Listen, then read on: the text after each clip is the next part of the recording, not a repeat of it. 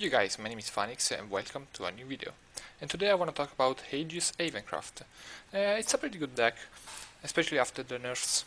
It does pretty well against many meta decks right now, and uh, even if the meta is not defined yet because we just had the balancing patch, I still think this will be one of the best decks until more cards will be nerfed. So let's not waste any time and start with the deck list. This is the deck I've been running. I'm not sure it's a perfect list, but uh, it performs really well for me. And uh, the cards you can see are one Sacred Plea and uh, one Frog Cleric. So let's talk about card choices. 3 Sacred Plea, because you really need the card draw, and this is just the best option Havencraft has ever since it was released. 3 Unicorn Dancer Unica, it's just a overall solid 2 drop. 3 Frog Clerics, I think this card is really underrated. Uh, I tried to play three of them and it performed really well for me. Uh, I think it has to do mostly with, the fact that I'm finding so many aggro bloodcraft with Krabos in ladder right now. So yeah, until uh, those, those decks are popular, this card is a very good choice. Two now is Red Orange Knight. I'm even considering running three of these. It's such a lifesaver card and you can just drop it on turn 2 for tempo. Overall, a pretty solid card.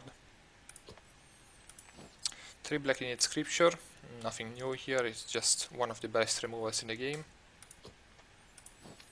3 Grimnir War Cyclone, it's still a pretty damn strong card even after the nerf, especially in a deck like, like this that doesn't care too much about face damage but cares more about board control. And it's a great follow-up to Heavenly Aegis too. Temple Defender, 2 copies. I decided to include this because it performs well against uh, cards like Bone Chimera or Forest Bats that are uh, really relevant in this meta, so I think you should consider running it too. 3 Priest of the Cudgel, still one of the best 4 drops in the game, so nothing to say here. 3 Tribunal of Good and Evil, uh, overall really good card, especially good if you manage to play this so that it procs there the turn where uh, when you play Heavenly Aegis, because it lets you play your win condition in, in a safer way. 2. Ancient Lion Spirit. Uh, this card disappeared from the meta during the neutral craft age, but I think that now that neutral crafts are a bit less relevant and uh, mid-range shadow and aggro blood are more relevant, this card really shines. In fact, I'm uh, actually thinking about including a third one instead of the third Hare's Tea Time. Great card. 3 March Hare's Tea Time. As I said, I was considering cutting one of these for uh, the Ancient Lion Spirit, but it's overall such a great card. Tin Soldier is a perfect turn 5 play, and you even get one more on turn 9. Overall, just a pretty damn strong card. You can use it to clean uh, the board, you can use it to push for more face damage. Very versatile. Two Judges of Retribution. It's such a strong card that if it, if it didn't share the same cost of uh, Themis Decree, I would definitely run three of these. Three Themis Decree. It's, it has been in every single Control Havencraft deck ever since the beginning, so nothing much to say here. Two Curates. This card is such a lifesaver. Uh, the heal 5 to an ally is really a very very strong effect and uh, it also has a very nice body and of course three heavenly Aegis. I've seen lists running two of these but uh, I think that three is the, the best number this deck doesn't win if you don't play Heavenly Aegis, so you really want to draw it. I didn't have any way to draw it from your deck with specific cards, so you just have to have one in your hand, which is why I prefer running 3 over 2. So now let's talk about other viable choices. Princess Snow White. It's still a pretty good 2 drop. I don't run it because as you can see I don't have it anymore. Uh, I don't think it's really necessary right now, but uh, it would be a good support for the deck. You can consider running it instead of the Frog Cleric if you want. And of course, if you run Snow White, you can consider running Heavenly Hound because it combos so well with it. Having a turn 3 2-4 with ward is such a huge deal. So yeah, if you run Snow White, consider running a Heavenly Hound. Biscolaria. Overall a pretty strong card. I don't run it because I think it's a bit too slow to play this on 2 and, don't, and not play anything else, but uh, it helps your mid game so much, so you can consider running it. Iron Maiden. If the meta is full of small things, this can be better than uh, Tribunal of Good and Evil, because you, have, you can remove two things with this card. So a good card to keep in mind. Radiance Angel. This card heals you and draws your card, so overall it's a solid card. I just think that uh, it's hard to fit in the deck because Ancient Lion Spirit and uh, March Hare's Tea Time are so strong, but uh, still a good card. Odin. In a meta in which Seraphhaven and uh, Nephthys Shadow are more relevant, Odin can be a good tech card, so consider it. And last, Bahamut, because playing uh, Bahamut when you already have an Heavenly Aegis on the board is such a strong play, but uh, it's a bit hard to fit this card in, because it can make your deck a bit more clunky. Still, many lists uh, have run Bahamut in the past, and uh, if you like it, you can consider running it too. And now let's watch some replays. So the first game is against Is Agro fighting Bloodcraft, and and going second. you know? Prepare for defeat. Going second, I decided to, to keep Priest of the Cudgel. Usually you want to look for your early game, but if you go second, Priest of the Cudgel is a good choice to keep. I don't find anything unlucky, No! so he plays his one drop. And uh, I draw into Nice, which is good. So he plays his Vania. I could play Nice here, but I think removing Vania was better, because you could, you could play someone Bloodkin. So it just deals me 2 damage. And here of course I don't have much of a choice. The red branch. It wasn't a good play, but uh, I didn't have any 3 drops, so... Broken. No! No! So of course here I'm going to play my Priest of Cudgel. Your evil deeds end now. You are done for. With the effect I your removed it weakness. to 2. Here I could decide to to remove the Forest Bat. And it was the best choice actually. So that this didn't die to Night Sword. Uh, so this is a bit of a misplay, but uh, it doesn't get punished. This is God's word. Ah! He still pushes for more face damage.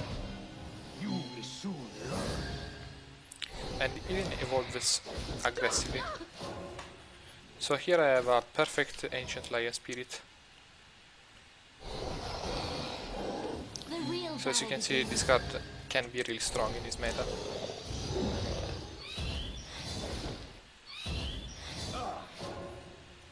Course the Raga face is starting uh, to run off of steam.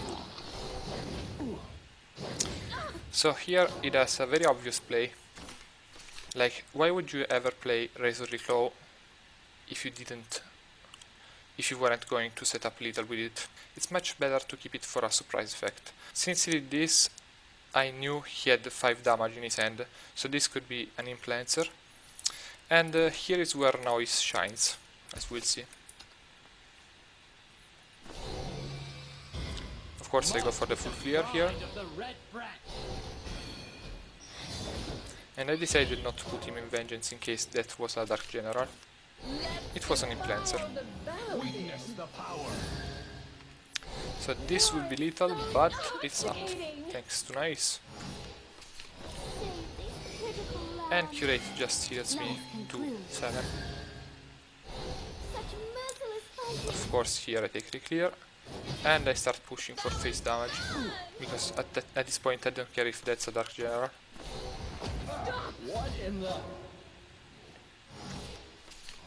So I just heal myself even more.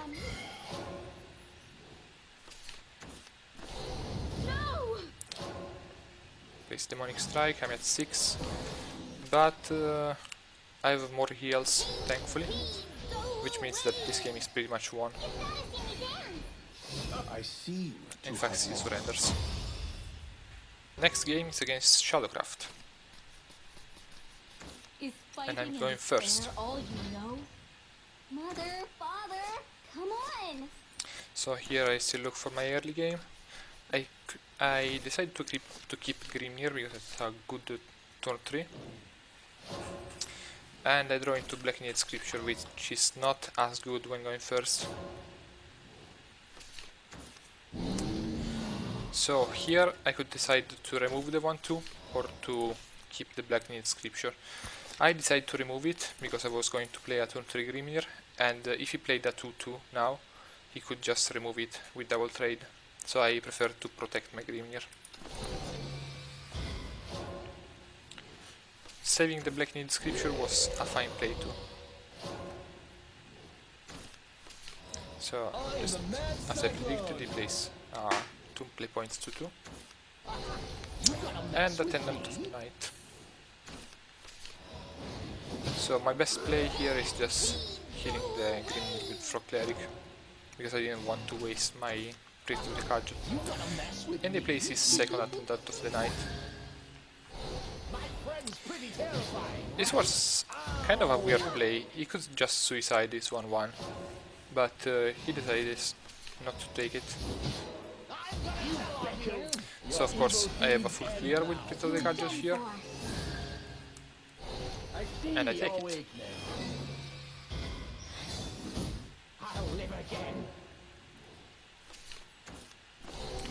kills my of the and uh, doesn't have anything better to play. So I'm just forced to skip my turn and my hand is so bad I have 3 heavenly Aegis. It's so clunky. He does another weird play which is soul converting uh, a 3-3 which was pretty good on the board. So I play a tempo curate because I don't have any better play. And uh, yes, one sad hectare. It was nothing good with just one zombie. Of your wretched faces. So he clears my board, but uh, that's no big deal.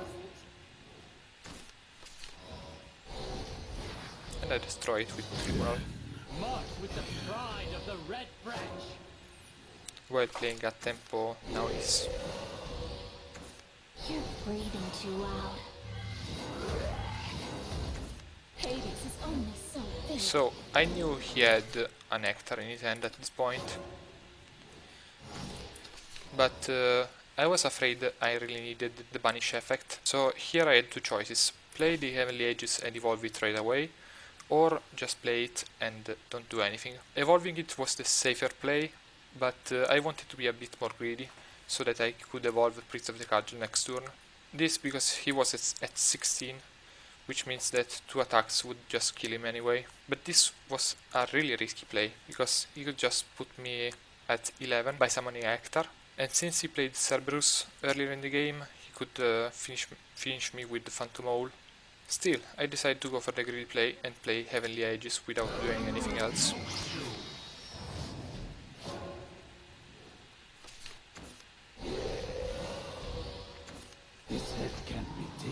Taken. He his Hector again. Stop!